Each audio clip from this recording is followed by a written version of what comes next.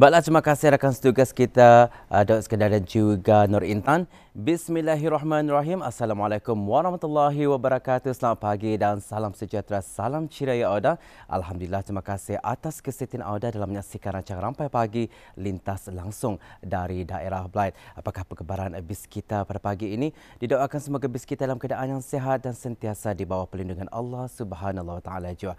Amin amin ya rabbal alamin. Seperti biasa kami akan menemani bis kita dan juga mengongsikan beberapa maklumat serta bahan visual yang telah disediakan oleh rakan tugas kita untuk hari ini ya. dan untuk perkongsian bersama keadaan cuaca di daerah Blight pada pagi ini dalam keadaan yang cerah saja ya.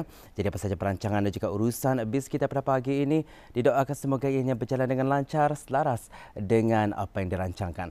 Belauda terlebih dahulu saya mengongsikan dua info semasa yang berlaku di sekitar daerah Blight iaitu mengenai dengan pemotongan sementara berkala elektrik di kawasan Simpang 22, Simpang 38 dan Simpang 70 Kampung Mumong akan berlaku pada hari ini Selasa 30 Mei 2023 bermula pada jam 8.30 pagi sehingga kerja-kerja selesai dan penutupan sementara ini disebabkan oleh kerja-kerja penggantian distribution feeder pillar di stesen kecil elektrik Mumong Sungai B. Jadi diharapkan kepada penduduk yang tinggal di kawasan berkenaan agar mengambil maklum tentang perkara yang telah disampaikan.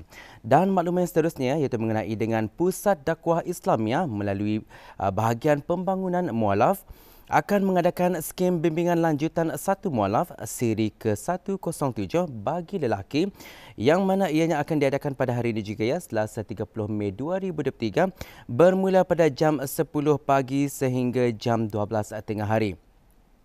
Dan uh, skim bimbingan ini akan bertempat di pejabat unit dakwah daerah Blight. Itu dia ada dua info semasa sekarang kita beralih untuk menyaksikan satu bahan visual untuk tontonan bersama.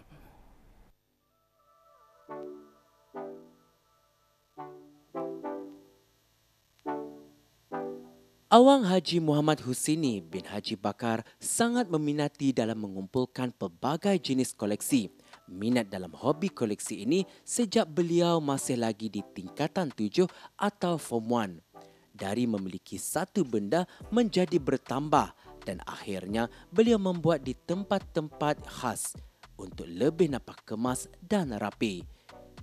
Hobi koleksi ini masih beliau jalankan sehingga ke hari ini.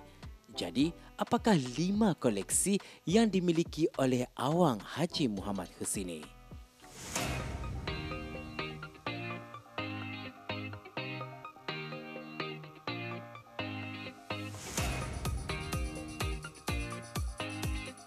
Model kereta-kereta ini adalah permulaan bagi beliau. Dalam hobi koleksi ini tidak disangka-sangka koleksi model kereta ini lebih dari 50 jenis kereta yang berjenama dari antara bangsa. Masa mula-mula start dulu, uh, kereta model lah. Uh, kereta model macam yang yang di belakang ni lah uh, ya uh, start dengan yang pertama yang mana tu masa masih lagi belajar di universiti uh, start with satu and then suddenly ya macam every month kan balik satu lagi. Every month kan balik satu lagi. Akhirnya dah terasa yang ya apa ni? Banyak makin banyak. Uh, kebanyakannya di Brunei pulang. Uh, tapi yang pertama ni dari UK United Kingdom masa belajar. Uh, lepas tu uh, ke mana saya uncle masa tu berjalan? Umpamanya kalau macam kursus ke apa untuk memperingati macam pernah ke sana lain tahun dia balik. Balik modal kereta ulang selalunya kita ni bila kena collection kena simpan dalam bilik apa kan itu ini kena, macam bertapuk lah jadi masa membuat rumah ni uncle tu fikir eh sayang je lah baik pulang anu model kereta tu macam bila orang datang kan uh, orang terus bilang, eh, oh, ada model kereta. And then, buatkan almarinya supaya bisa sedikit. Jadi kalau masa mula-mula berhari raya di sini, asas saya keluarga datang, first thing mesti berhenti di sini dulu bercerita pasal ni. Uh. Sampul surat rasmi hari pertama yang kerap kali dikeluarkan dari Jabatan Perkhidmatan Pos adalah sesuatu yang ditunggu-tunggu oleh beliau. Koleksi terbaru yang dimiliki oleh beliau ialah sampul surat rasmi hari pertama dan stem kenang-kenangan jambatan Sultan Haji Omar Ali Saifuddin. Jambatan ini memperlihatkan lambang kemodenan terunggul bagi negara Brunei Darussalam dan dengan pemodenan jambatan itu mengingatkan kepada almarhum Sultan Haji Omar Ali Saifuddin Sa'dul Khairuddin yang dikenali sebagai arkitek Brunei moden.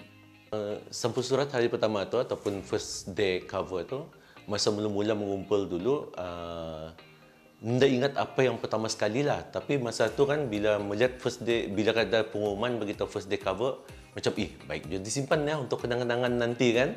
And, dan memang benar lah kalau bila bila dilihat semula macam oh ini macam umpamanya macam yang pasal NATO JTB umpamanya lima, sambutan 50 tahun JTB menjadi kenangan sebabnya JTB dah lagi ada tapi sampul surat pertamanya ah, masih ada ha?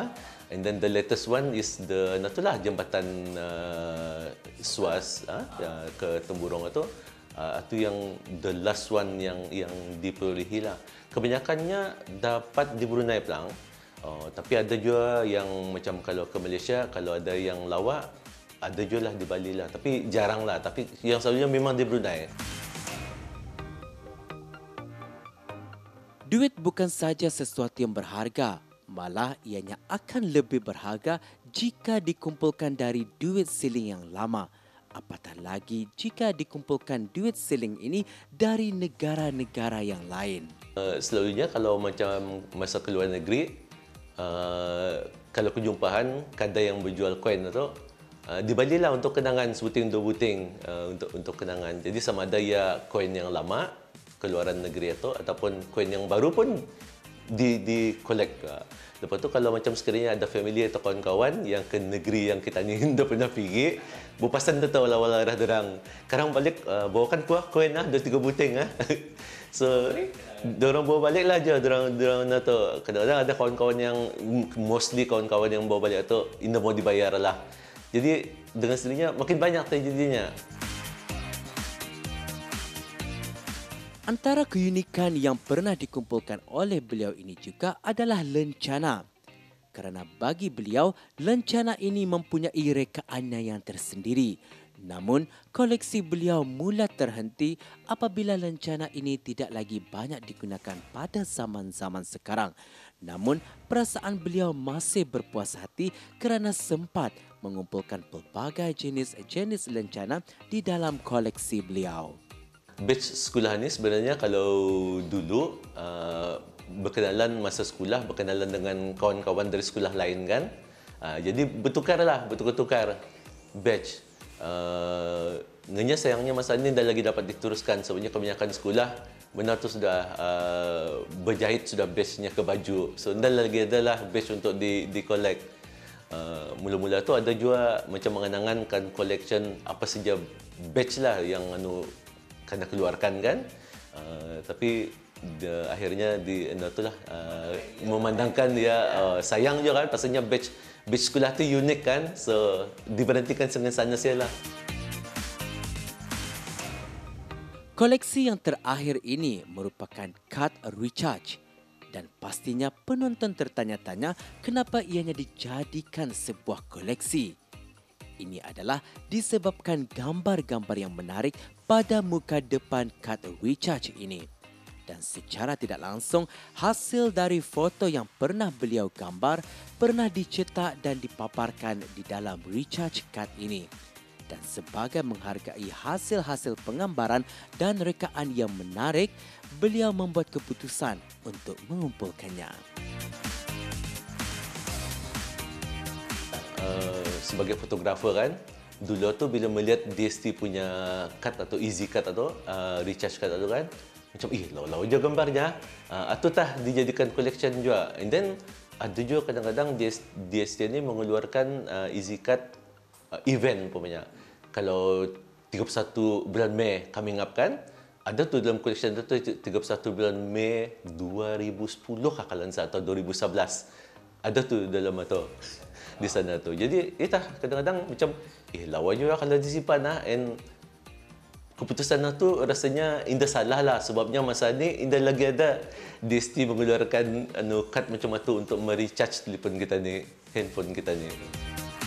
Dalam koleksi-koleksi ini akan menjadi bermakna kepada generasi-generasi yang akan datang kerana generasi yang akan datang tidak lagi akan dapat merasai zaman-zaman yang mendahului mereka. Namun, dengan adanya koleksi ini, bolehlah dijadikan ristaan kepada belia-belia muda yang akan datang.